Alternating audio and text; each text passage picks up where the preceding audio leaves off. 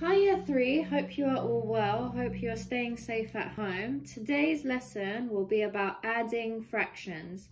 So as you remember, we had the top number which was called, yes, numerator, and the bottom number which was called, yes, the denominator.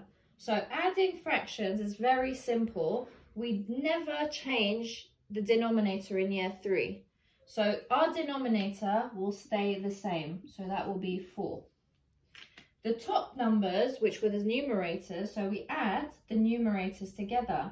1 plus 2 is, good, it is 3.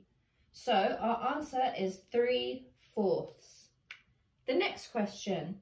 Remember, denominator always stays the same. So we'll draw a line there and then 8. 3 plus 4 is, good, it is 7.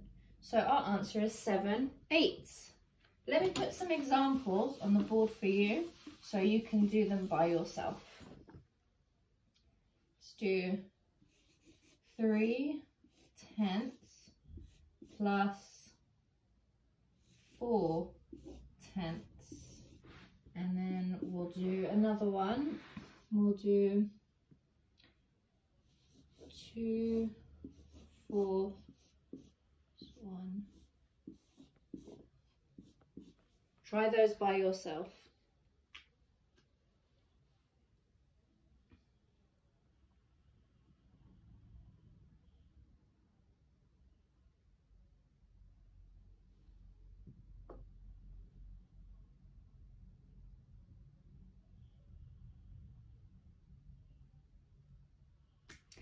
Okay, so remember denominator always staying the same. So our denominator is 10, numerator 3 plus 4 is 7. Good, 7 tenths. The next one, remember denominator always staying the same. Good, 2 plus 1 is 3. Good, 3 fourths. And that is our lesson today about adding fractions with the same denominator. I'll be doing another video soon about subtracting fractions with the same denominator. Hope you stay safe, guys.